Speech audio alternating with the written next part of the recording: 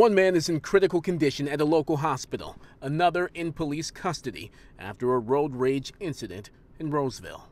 It happened in front of the Days Inn and Suites on Gratiot just north of 13 Mile around 5:30 Thursday evening.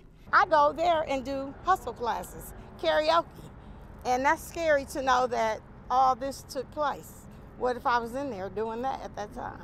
It's unclear what exactly sparked the animosity between the two drivers, but police say it all came to a head once the two vehicles were stopped at a red light and the man in this pickup got out of his truck. One gets out of the truck, approaches the other one. Uh, some kind of altercation, whether verbal or physical, occurs there. The driver of that vehicle uh, discharges his weapon, strikes the gentleman that's at his window several times, then drives away and waits for police down the street. The man who was shot was rushed to a local hospital. Bystanders snapped these pictures of his truck. There's blood on the door and door handle. The shooting shut down the stretch of southbound Gratiot for hours Thursday, rerouting more than a dozen smart buses and frustrating drivers. And I'm here from a vacation and can't even get to my hotel room. Mm. Bingo. And I'm tired.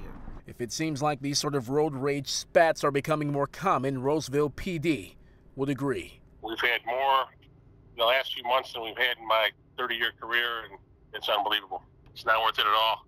Look what happens. You could have turned off, you could have kept going, just let it go.